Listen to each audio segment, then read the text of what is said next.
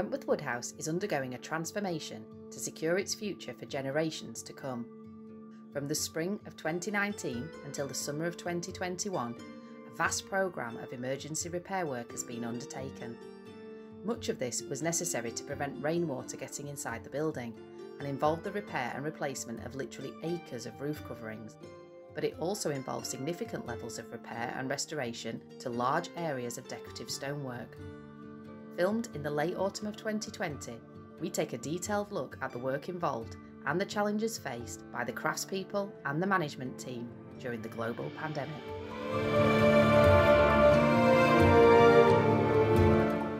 Hello, I'm Giles Proctor. I'm an architect at Historic England, and today I'm joined by Sean Knight uh, of HMC Masonry. Sean.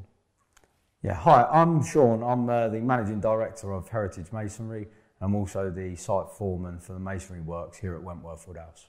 As you've seen from the um, um, drone footage at the beginning of this video, Wentworth Woodhouse is a really enormous house. It's essentially a very large house, which we're sitting in at the moment, uh, on one side, with an absolutely vast house attached to the other side of it, uh, and a sort of bit of a mess in the middle. Um, and it's a Grade 1 listed building, and the thing about that is it's one of the most important buildings in the country, you know, along with St Paul's Cathedral or York Minster and buildings like that. And it's really sort of special to the history of the nation, but also particularly special to this area where it's for a long time it was an absolute powerhouse, not only employing large numbers of people at the house, but also supporting large, huge numbers of people in the various enterprises which, which produce the money to keep this place running. And so what we've been trying to do is support the Preservation Trust in carrying this work forward by getting the building back into a good state of repair so that they can concentrate on building up uh, the building as a visitor attraction and generating income for its ongoing maintenance. The role of historic England in a project like this is to, I mean, we spent quite a long time sort of chivying things along, trying to actually encourage works to be carried out to this building. But then we were in the fortunate position to be able to channel funding into the works and to support this, these essential first phases. And we're so that um, by the time we've finished, we are going to have done most of the roofs to the east side of the house, which is the major portion of it and also quite a lot of work to the stable block and the riding school, which is going to be developed into um, a major sort of visitor centre for events in order to um, raise funding for the maintenance of the house. Um, so, as part of that, Sean, um, you, you've been really sort of dealing with quite a lot of the stonework on the house, and um, there have been some sort of really interesting aspects to that. Um, I don't know whether you want to um, pick out particular things. I, I, mean, actually, I'd quite like to ask you about the um, lady in the baby statue, which we saw this uh, this morning. Yeah, um, certainly all elements of the work have been challenging in their, in their own sort of way, um, and some of them very interesting in the way the building's been repaired in the past um, which has sort of exacerbated some of the problems we've now found. Um, so the whole building in general has been very interesting, very intriguing, um, and been a case of sort of evaluating why things were done in the past and, and moving forward. Um, the Lady and Baby was probably the most challenging aspect of the project itself. Um, we believe at a later date she was repaired with the waist taken off and a, ferrous dowel or an iron dowel put into the waistband to sort of secure her. And then at a later date, when that didn't work, a copper band put across her back to sort of secure her to the building. Um, unfortunately, it, it, it, became ferrous and expanded, and the, the damage to the statue itself was quite severe. Um, it ended up the, the top section was in five parts, um, and essentially was almost on the verge of sort of being beyond repair and, and becoming unstable. Um, so we managed to take her down and, and get her repaired with a variety of different repairs in liaison with yourself and, and the other contractors, um, the architect and the structural engineer. Um, and over months, we've managed to carefully restore her back. But yeah, it's been really challenging. Um, happy with the end product, um, safe in the knowledge that it's secure for, for future generations, but it's certainly very challenging. Yeah. And, and the urns were quite a tricky problem as well. I mean, I remember um, being sort of shocked by the um, uh, feeble supports which had been added to them in the uh, recent past. And uh, they're fairly hefty objects, aren't they? Yes, so essentially we, we, we estimate them to be about 650 kgs. Um, and we believe that the, um, the sheer weight of them caused the stone to snap on the necks. Um, now, they've lasted a very long time, but there are obviously issues for um, sort of the last hundred years because they have been repaired before. And the repairs you're talking about are the, the small copper bands. Yeah. Um, yes. Now, the copper itself is flexible in your hand, so how that was ever going to hold 650 kg of force on it, we just don't understand the methodology. Now, it worked, it kept it clamped to the building, but it doesn't make any sense to us now. So we've managed to remove them from the building, and they were carefully craned down and gone into our um, urn yard to be carefully restored. Um, and it's probably something that we'd like to look at, you know, sort of on site. Um, but yeah, it's been very challenging in working out how we can get them fixed back onto the building secure without replacing essentially good units of stone that Yeah. unfortunately have just broken under the weight of the, the, the urn itself. Yes. I mean, one of the things that you notice here is that although some of the stone has eroded, most of it is in fabulous condition. Yeah, very good You know, condition. You know, and, and some of the mouldings themselves are, are perfect. You know, almost to the point where you can still see the original carving marks. Yeah. Um, sadly, in some areas there has been erosion, um, and and we are in the process of indenting and repairing them, um, and they will look back to the way they were originally. Um, the challenge is in in separating those units now to be able to identify and get into those um, sections of erosion to replace them. So some of it might be done very, very conservatively, um, and other areas we've had to replace full sections of stone. Yeah. And the, um, the other challenging aspect was the work to the cornice. You worked on the cornice on the south side of the building. That's correct, yes. and uh, we had quite a quite a challenge trying to find a suitable stone for repairing that. That's didn't we? right, yes. So when, when we when we originally managed to get the scaffold up there and had a look at the stone itself, um, although the, the repairs that had been done in the past were, were very well done, um, sadly they were with cement um, and, and the erosion that that had caused to the stone was quite catastrophic in some areas. Now we were quite lucky that it wasn't to the whole of the cornice, but in uh, you know in certain sections, um, and certainly where the water egress was coming through and trapping behind the cement. Um, yeah, it required some thought as to how we were going to do it. When we looked at the when we took the cement repairs out and we looked at it, we realised um, that it's actually a stone that's very local to us, where we're from near Stamford, um, and it's a Ketton limestone, which seems very bizarre um, to be so far away from Ketton up here in Rotherham. Um, but with a bit of research, the, the Marquis of Rockingham, who was a, a uh, an owner here at one point, um, owned land down there. So it's feasible that they would have had access to the stone and it would have made it cost Yes. effective to get the stone. Um, so yeah, it's fascinating to find out why these little intricacies are there and why limestone sections on a sandstone building. Not necessarily the way it should be done, um, but that's the way it was done. Yeah, and and of course, I mean, we actually found that uh, we couldn't get Ketton stone of the right block size. Ended up using Ancaster limestone, which That's is correct. similar Yes. stone. I mean, it's it's marginally different, Yes. but we're able, but we could salvage some of the Ketton. Uh, That's correct. So what we found is in some of the units that had, had decayed in some areas, once we cut the rot away, we actually had some large sections we could pull out. Now we could carefully cut around them and stitch drill um, quite reasonable sized chunks of the Ketton out. And what we did is actually take that back to our yard, and then that was reworked down for egg and dart indents.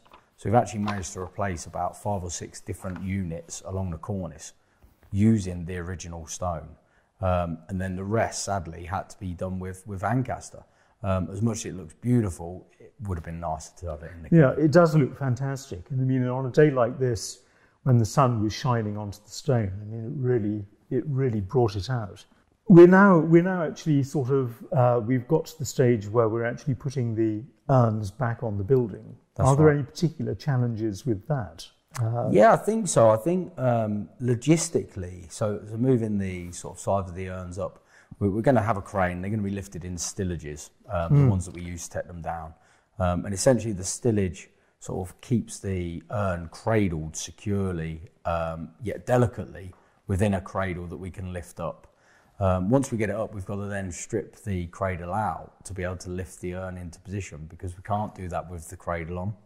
Um, so yeah, there's, there's going to be a lot of uh, logistical um, problems that we're going to come across. We, we've got plans in place to help us get that up there, and then the timing of taking the stillages off the crane and getting them onto the building um, are going to be um, tight, but we have a plan in place. We think it's going to work, and if it doesn't, we will adapt the plan and come to that as we as we go, and we'll find a way that works. But it will be uh, it'll be a challenge, um, as everything is when you move in large units of stone. How, how do you reckon they would have done it originally? Such huge weights and primitive machinery. Yeah, relatively the same way. So it probably would have been some form of crane, probably um, pulled or operated by animals.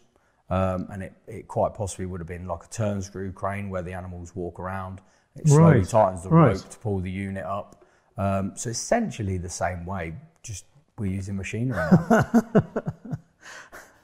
And, and how did you cope? I mean, obviously, in the middle of all of this, we had the COVID 19 lockdown, and uh, the site was closed for five weeks. I That's think. correct, yes. And, you know, sort of, how did you keep yourself busy during that? Uh, Uh, it was a challenge. time? Yeah, it was a challenge, but obviously with a job of this size, um, there's a lot that goes on in the background. You know, so the, the sort of paperwork chains that I have to follow, um, changing health and safety procedures ready for coming back to site, um, all needed amending and working out, and uh, a lot of liaison with Robert Woodheads themselves um, as to how we were going to manage it when we come back. There's a lot of conversations with suppliers as to whether we'd be able to get the material. Um, we luckily had a bit of notice and we managed to secure some stone, secure the mortars and the sands that we need um, before we went into lockdown. So we were very lucky that even though most of the site work had finished, we could continue working stone away from Rotherham um, and get it worked ready for when we came back so we could hit the ground running. yeah. Um, and it Yeah. worked. You know, we were very lucky. There's some people that are nowhere near as lucky.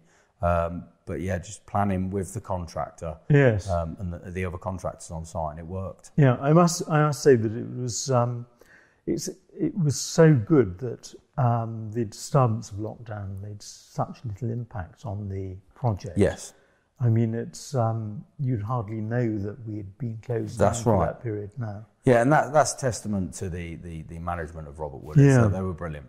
Yes. Yeah. Yes. Absolutely. What would you say was the sort of the most challenging aspects of all the work you've been doing here? Uh, I would probably say the scale right. because right. predominantly it's three roofs, but these are not three standard house roofs. These are three Yes. individually there would be three mansion roofs um, and we've had to do them all at once now it's helped us in some ways for example when other trades are working on one roof we can move to another area but logistically that's not always very productive so it's been it's Yeah. been difficult just managing the logistics of a, a um, a site of this size um, and especially getting some of the size of the units of stone up to the levels we need them at and into Yes. the right location Yeah. um, it's taken some very sort of close liaison with um, SGB, the scaffold company, um, and, and Andy Stanford. Yeah, and of course you've had a temporary roof over it Yes, all that time, which is an advantage in that it keeps the rain off, that's exactly right. but it makes access more difficult for some exactly, things, yeah. doesn't it? So in some areas, for, especially for the cornice, we may have decided we wanted to use cranes, which was completely out of the option because the, the temporary roof over the top. yeah, So it took a lot of thinking on how we could logistically move the stone. Obviously, we've got the health and safety implications of using, uh, moving big units of stone. We can't manually lift them. um, and we don't want to see people trying. So we have to think about ways we can mechanically get it up there, and it's difficult, but yeah, it's been it's been achieved. So. Yeah, yeah. Well, it, well, I mean, it really um, it's really been worthwhile. So, so you know, I think that um, we're we're coming to an end of this this section, and I think that now we're going to have a um, look at the roof at close quarters with um, Sean and his apprentice. So um, we'll see some of the finished work that they've produced. Brilliant. Hello, I'm Ben Halifax. I'm a level three apprentice mason at York College.